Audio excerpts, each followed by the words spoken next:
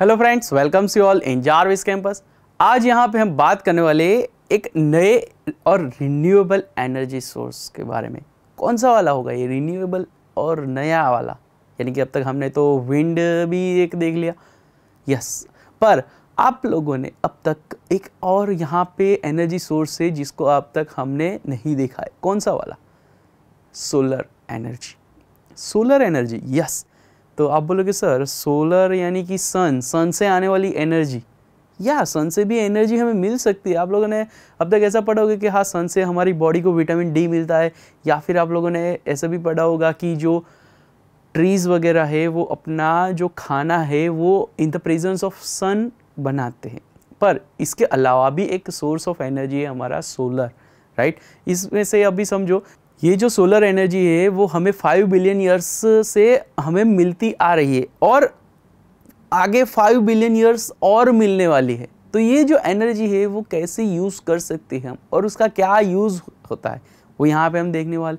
तो यहाँ पे हम समझो कि हमारा जो एटमोस्फियर है, वो जो सोलर एनर्जी सोलर रेडिएशन जो आता है, वो आधा एब्जॉर्ब कर लेता है और आधा ही हमारे तक आने देता है।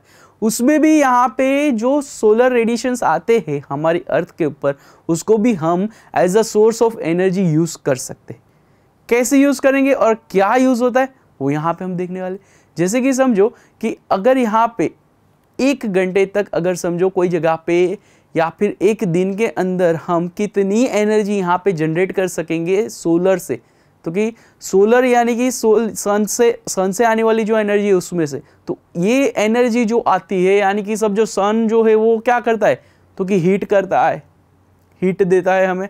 जैसे कि हम ये समझो दिन के बारह बजे अगर हम निकल दे रास्ते के ऊपर और सन से हमें, अगर सन के नीचे खड़े रहते तो हमारा शरीर गर्म होने लगता है, हमें गर्मी लगती है राइट तो ये हम समझ गए कि सन से हीट एनर्जी आती है।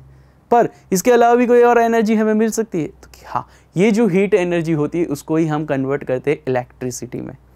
तो यहाँ पे हम टोटल दो टाइप ऑफ़ एनर्जी के बारे में पढ़ने वाले कि सन से आने वाली हीटिंग एनर्जी और सन से वाली हीटिंग एनर्जी को कन्वर्ट करने का है इलेक्ट्रिसिटी में।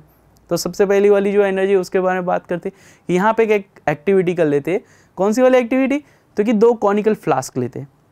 एक कॉनिकल फ्लास्क को हम क्या करें ब्लैक फ़िल्म से उसको यहाँ पे टोटली कवर कर लेते और एक कॉनिकल फ्लास्क को एज इट इज़ रहने देते। दोनों के अंदर वाटर फिल करते और हम क्या कर रहे हैं? वो दोनों ही कॉनिकल फ्लास्क को वन आवर या फिर हाफ़ आवर तक उसको धूप में रख देते, यानी कि डायरेक्टली सन के नीचे रख देते। अभी यहाँ पे हाफ़ एन आवर या फिर वन आवर के बाद में चेक करते हैं तो दोनों ही कॉनिकल फ्लास्क का वाटर जो होगा, वो हीट होगा, यानी कि गर्म होगा ऑब्वियसली डायरेक्ट सन के प्रेजेंस में रख रहे तो वो ऑब्वियसली गर्म तो होगा ही होगा। पर अगर थर्मोमीटर के साथ यहाँ पे थर्मोमीटर के यूजिंग से अगर दोनों का टेम्परेचर नोट डाउन करते हैं तो कौन सा कॉनिकल फ्लास्क का टेम्परेचर ज़्यादा आएगा?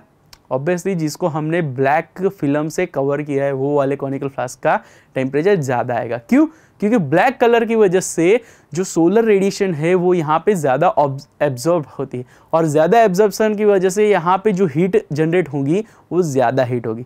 इसी पर्पस से हम क्या यूज़ करते हैं? दो और यहाँ पे इंस्ट्रूमेंट यूज़ करते हैं। एक तो हो गया सोलर कुकर और दूसरा होगा सोलर वाटर हीटिंग सिस्टम आप लोगों ने देखा होगा कि कई लोगों के घर की छत के ऊपर सोलर वाटर हीटिंग सिस्टम होता है राइट तो वहाँ पे आपने देखा होगा उसका वाटर हीटिंग के लिए जो भी वहाँ पे ग्लासेस लगाए होंगे, वो ब्लैक कलर के ग्लासेस होंगे। क्यों? क्योंकि वहाँ पे ब्लैक कलर के अंदर सोलर का रेडिएशन का एब्जॉर्प्शन ज़्यादा रहता है और वहाँ पे हीट भी ज़्यादा जनरेट होती। है और कभी कभार आप लोगों ने सोलर कुकर देखा होगा, वो बक्से जैसा होता है और उसमें भी बीच एक रिफ्लेक्टिंग मिरर रहता है और उसमें उसमें एक ट्रांसपेरेंट मिरर रहता है और जो बक्सा रहता है वो ब्लैक कलर का रहता है। और वही बक्से के अंदर एक यहाँ पे पॉट रखा हुआ होता है। पॉट एग्जैक्टली पॉट नहीं बोल सकते स्मॉल बॉक्स भी बोल सकते हैं उसको, जिसके अंदर हम खाना पकाने के लिए रखते हैं। राइट तो ये जो सोलर कुकर है, वो भी सेम पर्पस से काम करता है सेम एम से काम करता है। कौन से वाले? तो कि यहाँ पे डायरेक्टली जो सन रेडिएशन आता है सन की सोलर का जो भी रेज आते हैं, वो यहाँ पे रिफ्रैक्टिंग मिरर से रिफ्रैक्ट होते हैं कहाँ पे? तो कि वो बॉक्स के अंदर। और यहाँ पे प्लेन मिरर रहता है। प्लेन मिरर से वो बॉक्स के अंदर सब रेडिएशन तो जाते और ब्लैक कलर का जो पोर्शन रहता है, उसी की वजह से वहाँ पे क्या होता है? हीट ऑब्जर्प्शन हीट एब्जॉर्प्शन ज़्यादा होता है। और अगर यहाँ पे हीट ज़्यादा हो रहा है, इसी वजह से यहाँ पे बक्से के अंदर ये जो छोटा वाला बक्सा या फिर छोटा वाला पॉट रखा होता है और उसके अंदर जो भी खाना होता है, वो इजीली कुक हो जाता है राइट और यहाँ पे आप देखें तो यहाँ पे हमने जो हमारा फ़र्स्ट पर्पस था, कौन सा वाला? तो कि सोलर का जो हीट होता है, उसको यूज़ करने वाला, वो यहाँ पे हमने देख लिया। अभी सेकेंड पर्पज़ क्या था हमारा? सेकेंड पर्पज़ था सोलर की हीटिंग एनर्जी को कन्वर्ट करने का था इलेक्ट्रिसिटी में राइट वो कैसे करेंगे और उसमें क्या होता है, वो जानेंगे हमारे नेक्स्ट वीडियो में। Thank you